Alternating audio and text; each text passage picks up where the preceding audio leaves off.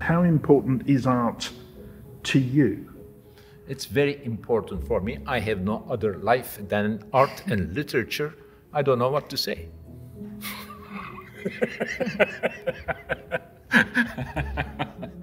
this is Orhan Pamuk. I'm a fiction writer. I've chosen these two Cornell boxes. On the right hand, we have a doll covered by various branches, which gives an effect of a doll forgotten in woods, and we feel sad about this doll.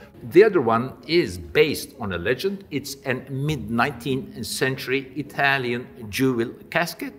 Cornell has the power to make everyday objects shine with poetry, with an aura that you would not come across in our normal lives. Maybe they're friendlier than a painting because you know, they look like things that you might have in your home or in an attic, or they have a kind of familiarity.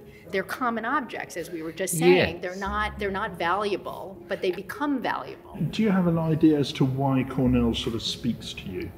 In the way I do, actually. It generates a desire in me to be close to it, to understand why I like it and why it's so beautiful. Perhaps that's the logic of modern art. We are fascinated by something at the beginning. We don't know why we are fascinated. And many times I thought about how Cornell put these his objects together. How he continuously looked at them and decided this is beautiful this is not.